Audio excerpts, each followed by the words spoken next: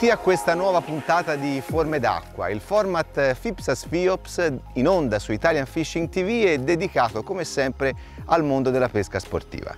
Oggi siamo in provincia di Arezzo, esattamente nel comune di Cavriglia, all'interno della miniera di Santa Barbara, una zona molto importante che ha delle caratteristiche geomorfologiche e idriche uniche.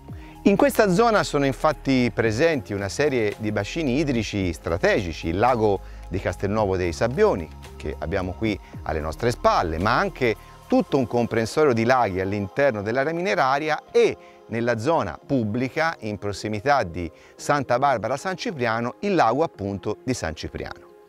In questa puntata, insieme al presidente del Bass Strike Spinning Club Valdarno, Tommaso Operi, ci cimenteremo in una sessione di bass fishing.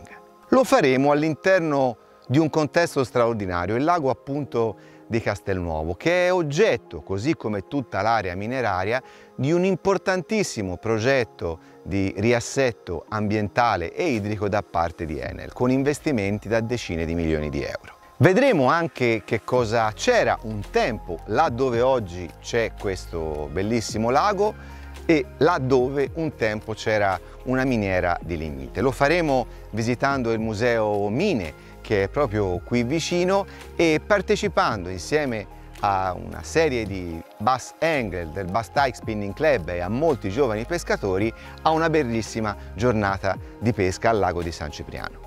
E allora che inizi questo nuovo avvincente viaggio con forme d'acqua.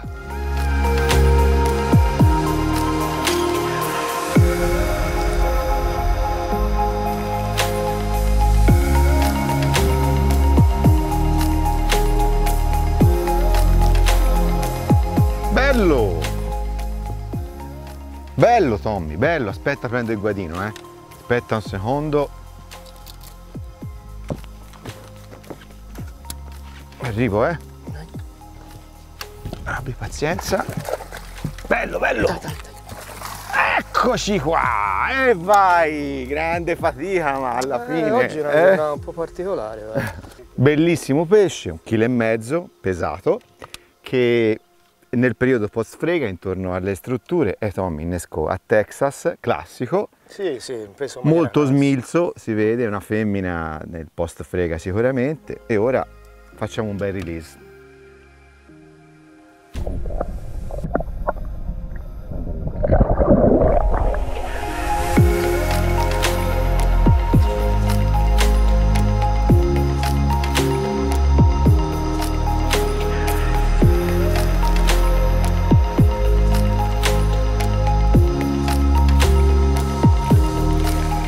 Eccolo, eccolo.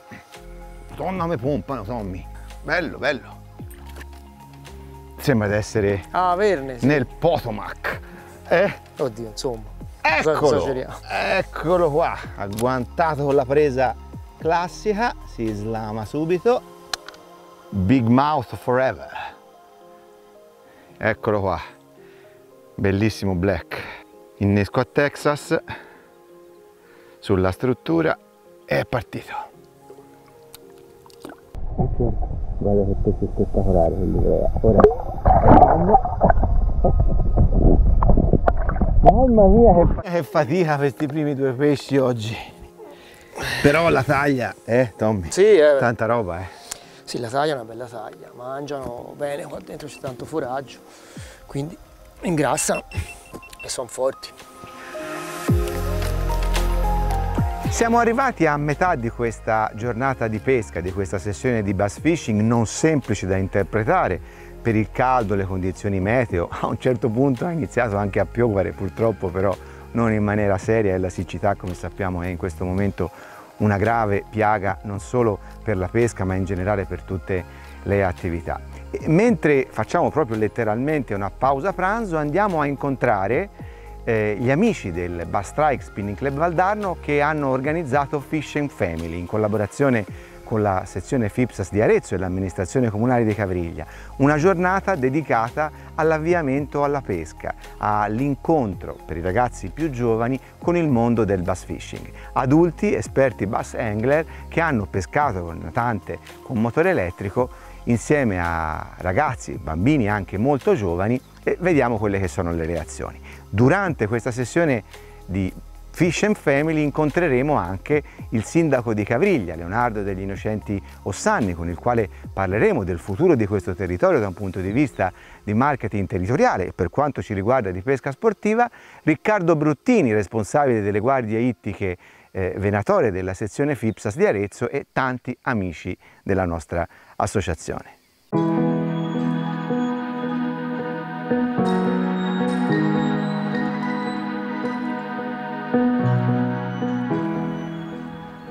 Ecco il boccalone, lo vedi? Mm. Il black bass, eccolo lì. Mm. Te dovrai cercare di lanciargli in prossimità della bocca. Ti lancio io. Ecco, ha preso. Tira, tira! Bravo. Recupera, recupera. Recupera, recupera. Qui, qui, qui, qui l'apo, qui, qui la mano. Grande l'afo. Senti come pompa. Ecco. Bravo l'afo, grande. Bravo.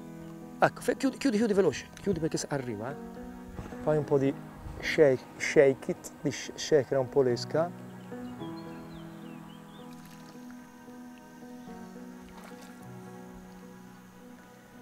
Questo è piccolino piccolino, guarda. Bravo la fine. Guarda quanto è bello. Vai. Lo rimettiamo. Vai.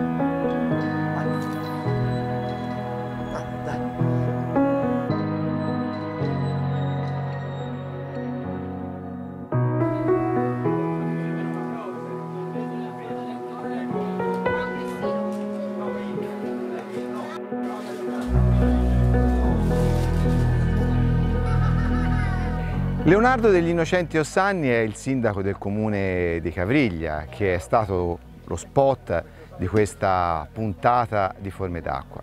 Eh, Leonardo, il, il, progetto di riqualificazione ambientale che sarà oggetto insomma, di investimenti imponenti del comune di Cavriglia nella zona mineraria crea le condizioni per uno sviluppo futuro legato al turismo, allo sport, nel quale anche la pesca sportiva può giocare un ruolo da protagonista con importanti bacini idrici che si definiranno. Certo, assolutamente vero, tutto vero, tant'è che noi ad Enel Produzione, eh, che è la titolare della concessione mineraria, che ha l'obbligo per legge di riqualificare l'ambiente ex minerario, abbiamo chiesto di porre ta tantissima attenzione sui bacini. Noi abbiamo a Carolia tre bacini principali, poi abbiamo anche delle dighe in quota, ma tre bacini, bacini principali sono il lago di Castelnuovo, un ex cavo minerario, il lago degli Allori e la diga di San Cipriano. Ecco, noi eh, nel progetto di riqualifica ambientale abbiamo chiesto davvero che ci, fosse, ci fossero i massimi esperti tanta attenzione perché abbiamo consapevolezza dell'importanza della risorsa idrica sotto tanti aspetti, sotto varie declinazioni. Quindi abbiamo chiesto che ci fossero delle sponde appunto per i pescatori, abbiamo chiesto che ci fossero delle sponde balneabili con delle spiagge e quindi eh, abbiamo davvero scommesso come amministrazione comunale e fatto impegnare Enel anche in termini economici affinché eh, vengano riqualificati e vengano valorizzati questi invasi perché appunto come dicevi tu Francesco è importante eh, la risorsa non solo per come riserva idrica come possibilità anche di essere sfruttata per usi domestici ma anche appunto per valorizzare il territorio per dare ulteriori opportunità a chi ha questa bella passione della pesca ma anche per accrescere questa vocazione che ultimamente si è venuta sempre più ad affermare a Cavriglia che è il turismo. Quindi noi pensiamo che nei prossimi anni, attraverso appunto la valorizzazione dell'acqua, dell'acqua presente a Cavriglia, possano arrivare davvero tanti turisti per eh, attività varie, non solo ovviamente per la pesca, ma per la canoa, per la balneazione, per eh, lo studio anche della fauna e della flora che è particolarmente interessante in questi luoghi. E l'appello che facciamo, che so che sarà raccolto perché con Leonardo ne abbiamo già parlato, è quello che l'amministrazione comunale di Cavriglia insieme anche alla regione sia a disposizione per costruire insieme anche alla federazione, alla FIPSAS del CONI un progetto proprio di valorizzazione di questi territori da un punto di vista di pesca sportiva anche come elemento di marketing territoriale e non mancherà l'impegno in questo senso, vero? No, non mancherà anche perché peraltro fare percorsi a braccetto insieme all'associazione, legarsi sempre di più al territorio è uno stile eh, dell'amministrazione comunale di Cavriglia e sicuramente sarà confermata anche in questa occasione.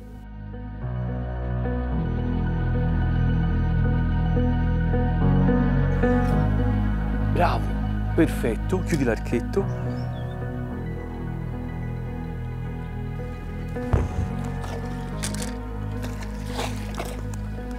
Ale, grande Samu. Basta. E vai. Samu, sei un martello, eh. Grande. Questo è tutto tuo, eh. Attenzione perché questo Samu è tutto tuo. Vieni, vieni, vieni. E vai. Tutto te, eh? grande Samu. L'ho preso. Si chiama clear, colore si chiama clear water perché è molto simile al, alle alborelle, al pesce che mangia. Vai. Ciao bello.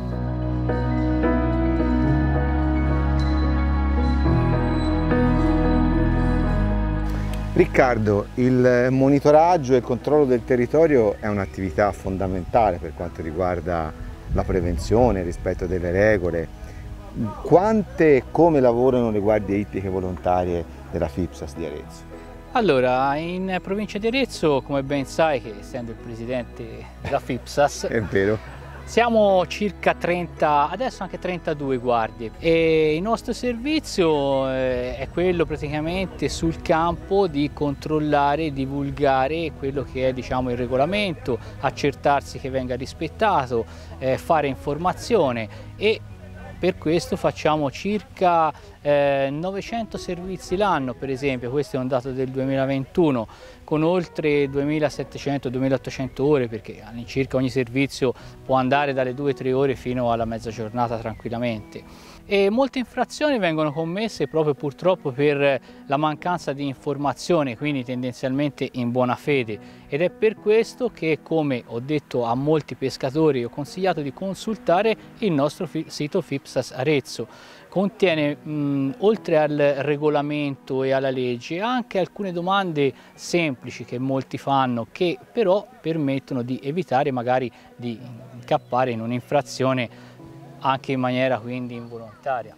È molto importante il lavoro delle guardie ittiche volontarie della FIPSAS come spesso abbiamo evidenziato anche in tante altre puntate perché questo svolge anche un'azione preventiva di contrasto al bracconaggio, perché anche nelle nostre acque, non solo nelle consolidate zone del nord dove sono fatti noti insomma, le vicende anche organizzate di bracconaggio ittico, si verificano azioni comunque di bracconaggio, una proprio recentemente è stata sventata Pochissimi giorni fa, sì, pochissimi giorni fa abbiamo trovato persone intente a pescare con una rete proprio in un corso di Arno qui in Val d'Arno e avevano tirato una rete da parte a parte, erano diverse persone proprio in questa attività che è tipica del bracconaggio. Quindi non, è soltanto, non sono soltanto cose che si verificano così, lontano da noi, purtroppo ogni tanto anche qui, anche in questo lago eh, di San Cipriano negli anni passati si sono verificati questi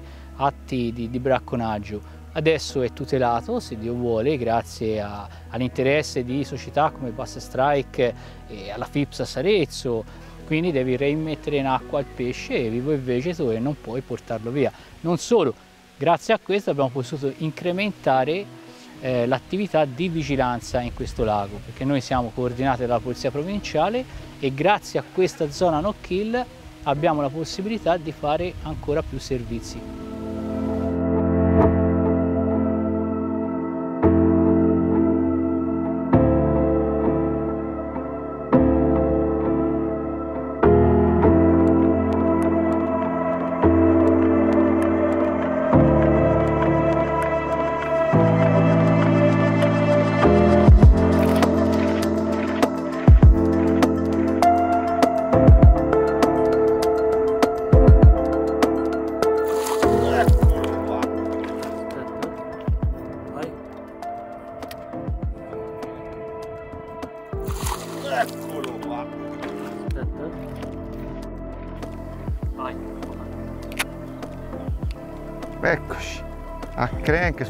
Strutture.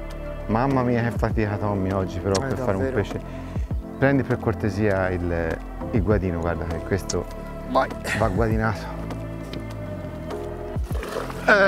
No, porcaccia miseria.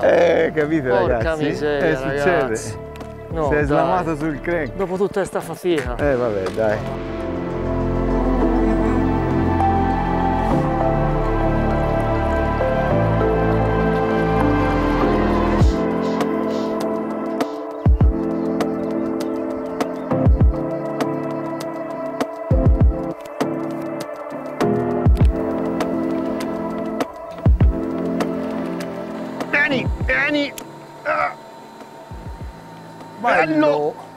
Bello, bello!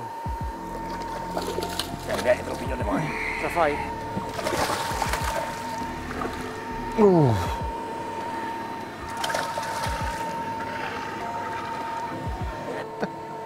Olè! Bel che pesce, eh? Bello, sotto, sotto riva vicino a, a quest'idrovora. Eccolo qua. Che fatica però Tommy, eh. Eh, davvero. Mamma mia ragazzi. Per fare tre pesci oggi è stata una pena. Mamma mia. Taglia però interessante, qui tutti i pesci sul chilo e mezzo minimo. Sì. eh? Ora E questo ci dà anche la dimensione delle potenzialità di questo Certo. lago, però ne parliamo tra un attimo. Ora facciamo il release, allontaniamoci da- dalla pompa.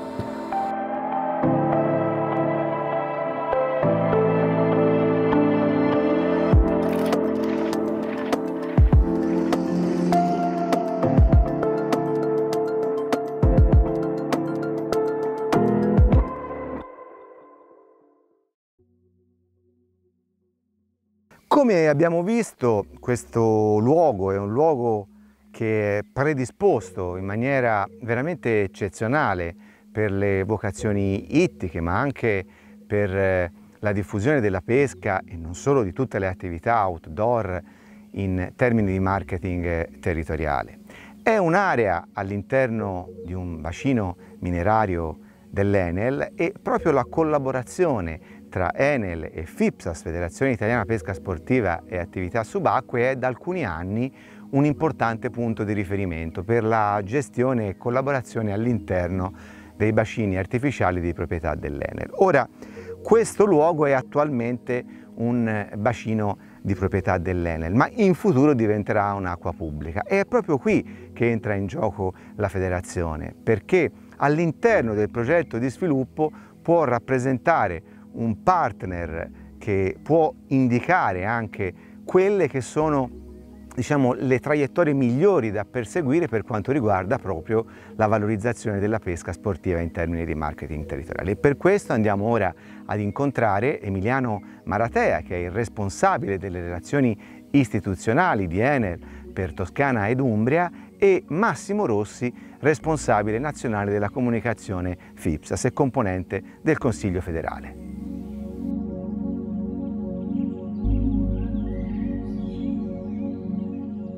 La miniera di Santa Barbara rappresenta un laboratorio letteralmente a cielo aperto per lo sviluppo di tantissime progettualità legate al riassetto del territorio e quindi a una serie di vocazioni turistiche e outdoor, ma anche alla pesca sportiva. Emiliano, qui c'è veramente tante potenzialità, non solo per il territorio, per la Toscana, per il centro Italia in generale, ma anche è quello che a noi interessa di più per il settore della pesca sportiva.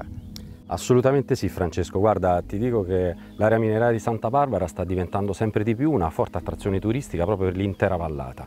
Un'area che cioè, vedi, la vedi meglio di me, te la conoscerai meglio di me perché sei del territorio, sai che eh, è oggetto veramente di attrazione per determinati eventi, a partire dal cicloturismo, eh, abbiamo visto in determinate occasioni eh, centinaia di ciclisti che si cementano in queste strade bianche che rievocano il passato, fino a tutta quanta una serie di attività di gestione che vengono fatte in concomitanza con le amministrazioni del territorio.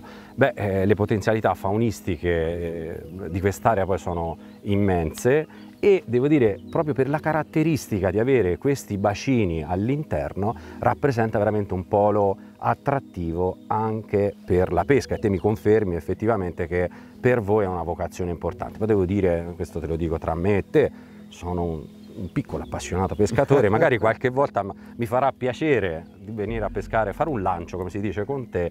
E qui ci sono grandissime potenzialità da questo punto di vista. Tra l'altro, Emiliano, c'è anche un protocollo molto importante, siglato a livello nazionale tra Enel e FIPSAS, che prevede tutta una serie di attività che possono essere sviluppate all'interno dei bacini di proprietà dell'Enel. Questa è una zona che quando i lavori di recupero del territorio saranno terminati tornerà interamente pubblica, però nella fase diciamo, intermedia in cui ci sarà proprio anche da finalizzare le vocazioni e quindi anche i servizi eventualmente legati all'attività outdoor e quindi anche alla pesca sportiva potrebbe essere oggetto di un importante confronto per arrivare a sfruttare al massimo queste potenzialità, perché questo è un paradiso che va preservato anche per la pesca sportiva. Assolutamente, guarda ti dico ma è proprio nelle corde di Enel sottoscrivere in virtù di quelli che noi chiamiamo progetti di turismo sostenibile degli accordi con il territorio, con le associazioni che hanno per vocazione lo sviluppo di determinate attività,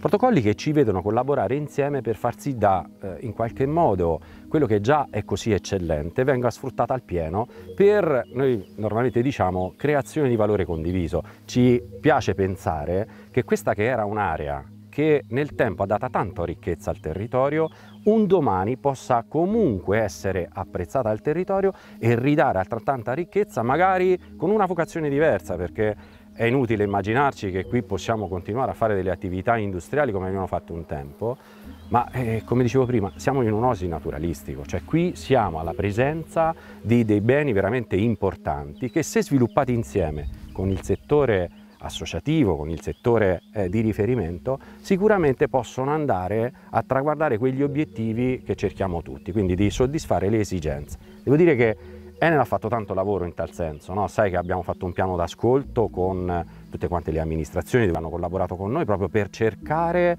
di sviluppare appieno quelle che potevano essere le varie esigenze. E oggi stiamo toccando un settore come... E anche dicevo, noi ci siamo fatti sentire in quella Ass sede. assolutamente. Abbiamo portato alcune idee, proposte. E le idee e le proposte che ci ha portato sono state recepite e fammi dire quello che stai parlando te ora, un accordo per il futuro è sicuramente futuro, ma per noi è già presente, perché speriamo veramente di rendere fruibili queste aree da ieri. Quindi farlo quanto prima possibile insieme, perché sicuramente sarà la cosa migliore.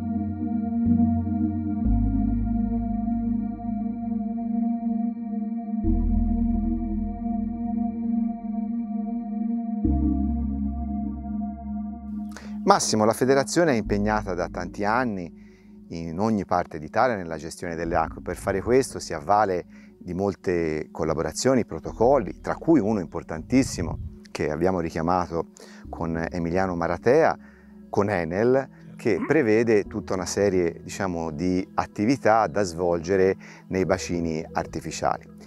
Tu oggi hai avuto l'opportunità di venire qui e di pensare quello che può essere l'impegno della federazione in un eh, luogo dove ci sono delle potenzialità incredibili come l'area mineraria di Santa Barbara e eh, cogliendo anche la disponibilità di Enel a collaborare si può costruire un progetto legato alla valorizzazione e alla crescita della pesca sportiva in termini anche di marketing territoriale, non solo socio-economico, veramente, veramente straordinario anche in un'area come questa che è tutta da inventare. Guarda, fammi fare intanto una veloce cronostoria di quello che è stato il passato, perché è vero, tu parlavi di un protocollo d'intesa con Enel ed effettivamente nel 2017 eravamo nell'ufficio di Giovanni Malegò al CONI a Roma e insieme appunto all'amministratore delegato di Enel abbiamo firmato il primo protocollo d'intesa, che poi ne ha avuti altri di seguito, l'ultimo l'abbiamo firmato nel 2021 dove ufficialmente ci consegna quattro bacini in gestione dell'Enel sparsi un po' sul territorio nazionale ma come stavi dicendo giustamente tu prima, apre però le porte a tutta un'altra serie di cose che sono appunto la gestione dei territori tipo questa che mi hai portato in un posto che dire che è bello sarebbe fargli un torto, veramente, veramente tanto. Che tu hai parlato di pesca, io qui ci parlerei anche di nuoto pinnato, ad esempio, quindi, e non solo di quello. Quindi sicuramente la pesca, perché guardavo la struttura, facevamo un paragone con quello che è strutture che già attualmente noi gestiamo come può essere Pietrafitta, e questo qui non ha niente da invidiare per Pietrafitta, cioè, non voglio dire che è meglio perché ancora non l'abbiamo provato, però c'è il rischio che lo sia, ecco. e quindi qui cosa ci possiamo sviluppare? Di tutto, perché non riesco a pensare a una specialità di quelle che facciamo noi se escludi il mare, che non possa essere praticata qui, quindi tu mi insegni che sei un praticante di quello che è un fatto di pesca con gli artificiali piuttosto che, ma mi immagino il carfishing perché mi parlavate di una profondità intorno ai 20 metri, quindi c'è la possibilità di gestire. Cioè, non penso che ci possa essere un limite a quello che come noi federazione possiamo fare qui. E ti ripeto e aggiungo, non voglio dimenticarmi, visto che si parlava anche della possibilità di avere dei pontili, che potrebbero essere un punto di partenza, anche il nuoto pinnato, perché no?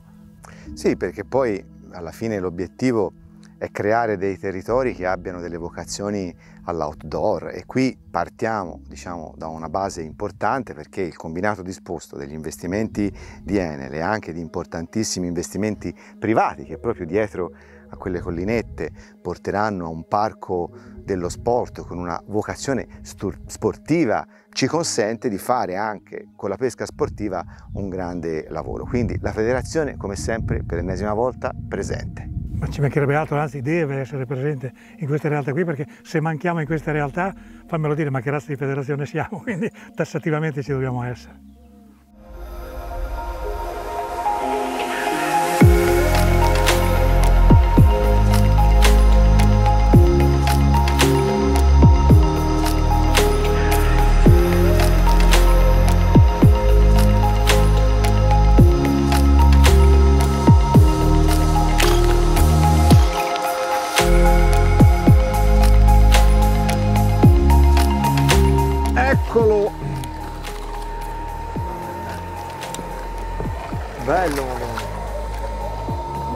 Pesci, ce n'erano due.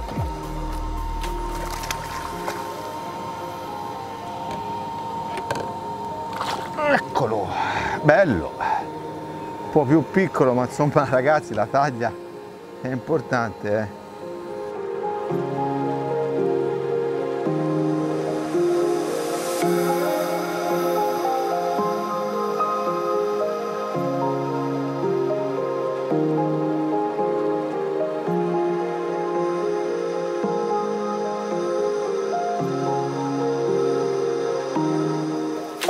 Abbiamo questo lago bellissimo all'interno del bacino minerario di Santa Barbara. Ma che cosa c'era una volta? Una volta c'era una miniera, una miniera di lignite che dal 1956 è stata gestita da Enel, ma fin dall'Ottocento era oggetto di escavazione all'interno di gallerie da parte di migliaia di minatori. Per fare che cosa? Estrarre il carbon fossile, la lignite, questa cosa qua che vedete nelle mie mani, che troviamo ancora ovunque sulle sponde, perché qui la centrale termoelettrica di Santa Barbara, fin dai primi anni 20, chiaramente non era questa, una precedente, ha illuminato per la prima volta con l'energia elettrica le città di Arezzo, Siena e Firenze. Ma per capire meglio quelle che sono le caratteristiche storico-sociali di quest'area e anche la storia di questa miniera che lascerà il posto a breve a un bellissimo luogo di riqualificazione ambientale dedicato all'outdoor, andiamo a incontrare il Museo Mine insieme a Giulia Peri, una assistente appunto del museo, museo regionale delle miniere.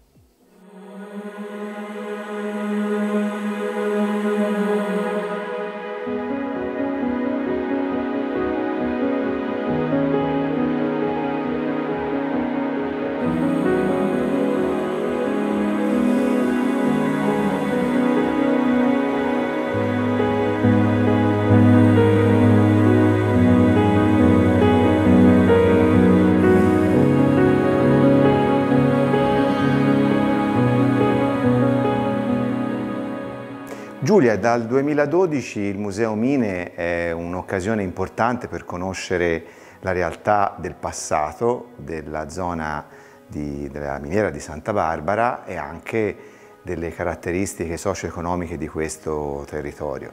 La storia è molto articolata e complessa, però chi viene a visitare questo museo a grandi linee che cosa può apprendere? Allora, innanzitutto la prima cosa eh, che raccontiamo è appunto la storia delle miniere. quindi come è nata l'escavazione e le varie fasi eh, di escavazione, perché ci sono stati dei momenti diversi. Oltre a questo ovviamente si parla anche della parte eh, più umana e più culturale, quindi anche il fatto che eh, durante il passaggio del fronte della seconda guerra mondiale ci sono stati gli eccidi e quindi viene raccontato comunque anche questa parte e anche la parte che riguarda poi gli espropri eh, delle case, quindi il completo cambiamento del sistema abitativo del territorio. Quindi non è solo una questione insomma, storica, ma c'è anche la questione umana che viene raccontata. Quindi tutto girava intorno al carbon fossile, alla lignite, lignite a, questa, sì. a, questo materiale che ha rappresentato anche l'elemento centrale dell'economia di un territorio, perché la maggior parte delle persone era, erano minatori, ma c'era diciamo, un distretto minerario siderurgico che creava le condizioni anche per uno sviluppo economico alla fine dell'Ottocento e i primi del Novecento. Sì, la, la, miniera e poi l'arrivo dagli anni 60 di Enel ha condizionato molto anche proprio l'economia del, del Valdarno, innanzitutto del comune di Cavriglia, però erano tante le persone coinvolte nei vari lavori, quindi in realtà poi anche del Valdarno e anche delle zone eh, più vicine del Valdarno, quindi anche le grandi città come Firenze e Siena comunque risentivano eh, di quello che accadeva in questo bacino minerario. Quindi questo anche per eh, capire là dove oggi abbiamo un lago e una potenzialità legata all'outdoor, allo sviluppo sportivo e ricreativo, c'è stato però un passato caratterizzato da lavoro, da lotte anche eh, di rivendicazione di diritti, anche da tragedie umane legate alla guerra e questo ha maggior valore oggi che siamo in un momento in cui la guerra è in Ucraina, nel cuore dell'Europa, ma ogni territorio che vive anche momenti difficili può avere una rinascita, però mantenendo la memoria storica. Sì, decisamente.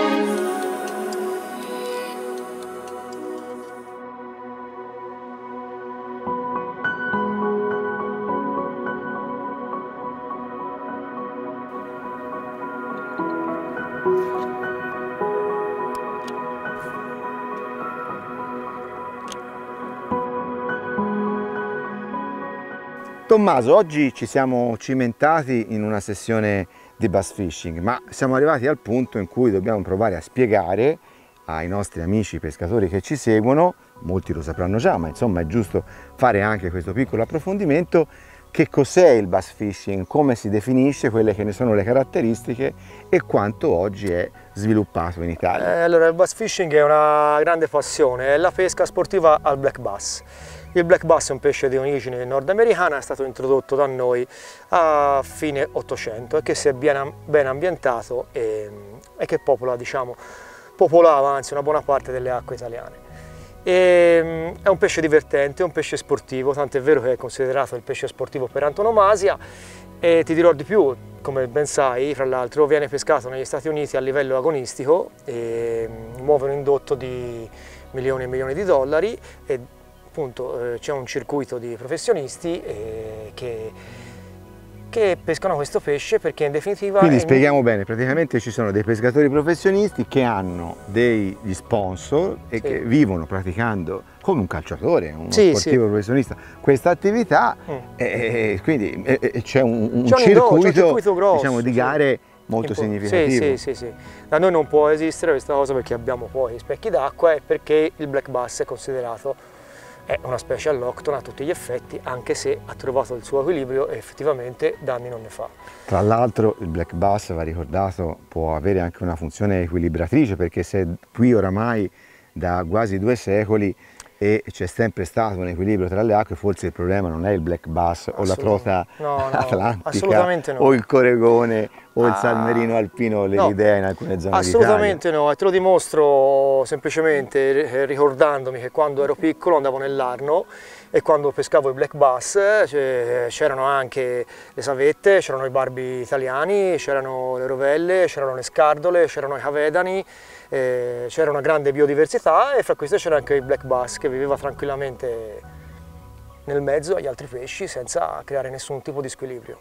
Tra l'altro il bass fishing è un'attività di pesca che può essere praticata per step, si può iniziare veramente dal nulla con una canna eh, pescando da riva arrivando fino alle bass boat sulle quali siamo oggi. Sì, diciamo che uno comincia dalla riva, poi piano piano si specializza se eh, viene preso da questa grande passione e se ha le possibilità e il tempo poi chiaramente magari può arrivare a comprare dei mezzi anche più grossi eh, che gli consentono di frequentare anche spazi più grandi. Ecco. E siccome noi la malattia, come è evidente, ce l'abbiamo perché con Tommaso peschiamo da tanti anni e grazie alla pesca siamo veramente diventati grandissimi amici, oltre a condividere eh, tante altre passioni insieme, proviamo a vedere se riusciamo a raddrizzare in fine di giornata questa giornata non semplice che ci ha riservato qualche cattura ma veramente tanta tanta fatica. Sì, è stata una giornata faticosa perché comunque i pesci li abbiamo trovati localizzati solo in determinati punti specifici. Eh, come dire, se vi guardate intorno qui è pieno di spot, però eh, noi si sono girati tutti e i pesci si sono trovati solo in, in qualche piccolo anfratto. Ecco. Quindi insomma non è, non è una giornata facile, l'acqua si è abbassata, la temperatura si è alzata, non piove mai, eh, poi c'è anche un po' di pressione di pesca, dato che noi con il club Bass Strike ogni tanto veniamo qua a pescare, quindi grazie all'Enel che ci dà i permessi, eh, quindi insomma la giornata non era semplicissima, però Franci eh, ha preso diversi pesci, un opello l'ho preso anch'io, insomma, quindi... La giornata è stata eh, alla fine soddisfacente, sì. ma quello che è più importante è la consapevolezza e con questo concludiamo questa riflessione sul bar fishing che eh, questo tipo di attività può essere una delle attività cuore dello sviluppo futuro di aree come queste che vanno tutelate, preventivamente organizzate e gestite affinché si possa fruire nel modo migliore possibile del bass fishing come di altri pesca all'interno di un contesto di attività all'aria aperta che dovrebbe sempre essere maggiormente frequentato dai giovani. Come abbiamo visto riusciamo anche a fare mm. con iniziative come quella al lago di San Cipriano. Ma vediamo se riusciamo Dici? Sì, no, mi viene in mente una cosa. C'è un nostro amico che è riuscito a quantificare il valore di ogni black bass catturato e si aggira all'incirca sulle 50 euro. Quindi ogni pesce catturato vale 50 euro. È rilasciato. È rilasciato, quindi è un'economia circolare. Noi peschiamo questo pesce che vale 50 euro, lo rimettiamo nell'acqua e continua a valere 50 euro. Perché vedete tutto questo, eh, tutta questa attrezzatura? Cioè, questa attrezzatura sono soldi che sono stati messi nel mercato per pescare il black bass.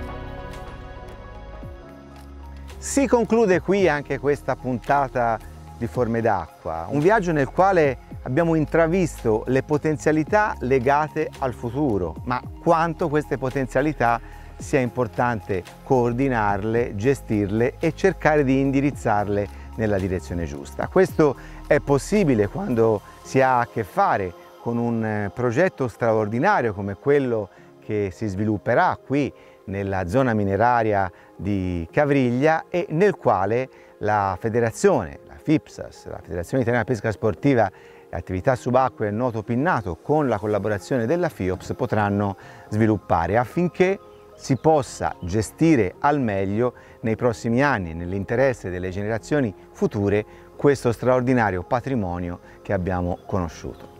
Come sempre avanti insieme alla FIPSAS e alla FIOPS. Alla prossima!